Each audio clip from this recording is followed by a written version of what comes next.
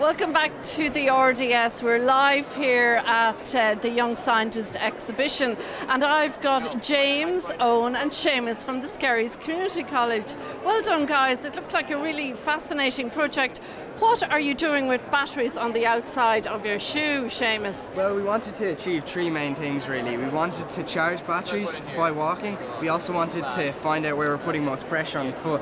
We also wanted to grow our own uh, materials to put inside the shoe.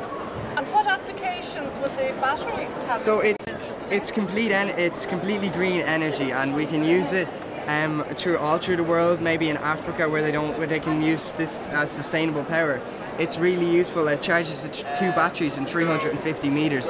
Thanks, Seamus. And Owen, what's in your hand there you're hiding? Um, I've got a piezoelectric ceramic, and that's what we use throughout the project. We're using it to determine uh, what pressure you're putting on different parts of your foot as you're walking. So we're hoping podiatrists will use it for people who want to improve their posture, people with back pain, maybe sports people who want to maximize their performance. I think Um, that's really uh, of use. Oh yeah, Yeah. it- it's a cheap sensor technology. Yeah, best of luck. and you. what are these uh, crystals? Might they help me forecast the weather, maybe?